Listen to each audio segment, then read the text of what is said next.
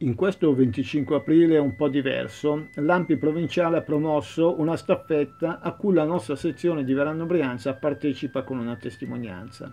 Le piazze saranno vuote, ma ancora siamo chiamati a resistere e a vincere, questa volta contro un nemico invisibile che ha potuto svilupparsi anche a conseguenza dei tagli alla sanità pubblica, effettuati in spregio alla nostra Costituzione che siamo chiamati a ribadire quando torneremo a riempire le nostre piazze. A Verano Brianza il desiderio di democrazia e di una vita libera coinvolse nella resistenza molti giovani. Nel territorio di Verano e Carate operava la 119 Brigata Garibaldi con la SAP di Bona, a cui aderirono i veranesi Fortunato Mandelli, 19 anni, che poi morì nel campo di concentramento di Flossenburg, e la diciassettenne Maria Entide Zecca, con il ruolo di staffetta di collegamento con le GAP di Milano di Melegoli e Pesce.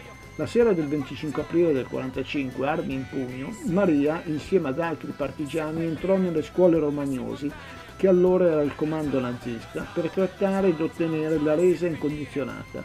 Al mulino Bistorgio di Verano Brianza abitava la famiglia Preda, una famiglia partigiana. La mamma Luigia era staffetta di collegamento con i partigiani della Valsassina. I figli Angelo e Gerolamo militavano nelle brigate partigiane dell'Ossola. Il figlio piccolo Mario, a soli 15 anni, nel marzo del 45 decise di raggiungere i fratelli e scappò sulle colline del Verbano, dove si unì alla decima brigata Rocco della seconda divisione Garibaldi Redi, comandata da Cino Moscatelli. Gli fu assegnato il nome di Topolino, ma per la giovane età gli fu negata un'arma. Guido Petter, il partigiano Nino 3, nel libro Che importa se ci chiamano banditi, ricorda che durante una marcia di trasferimento sentirono Topolino canticchiare una canzone a loro non conosciuta. Era una canzone delle mondine, che però in pianura molti cantavano, a cui avevano cambiato le parole. La sera, per la prima volta, in brigata tutti insieme cantarono Bella Ciao e successivamente la canzone raggiunse le brigate partigiane della Valsesia. Il 25 aprile del 1945, mentre tutta Italia era in festa, per la sconfitta del fascismo, la dittatura da cui prese inizio la tragedia della seconda guerra mondiale e dello sterminio, i partigiani del Vergante erano impegnati a fronteggiare i nazisti, in fuga per evitare che si ripetessero ulteriori stragi e ruberie come nelle giornate precedenti.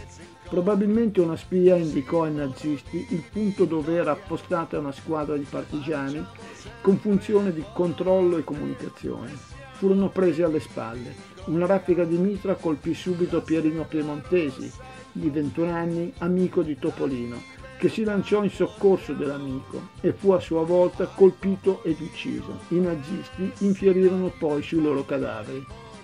Ogni anno insieme all'Ampi del Vergante organizziamo una manifestazione in memoria di Topolino, recandoci al Cippo in memoria nei boschi di Someraro, sopra Stresa.